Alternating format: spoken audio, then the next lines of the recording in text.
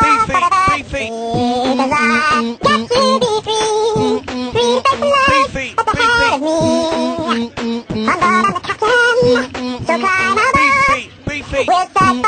of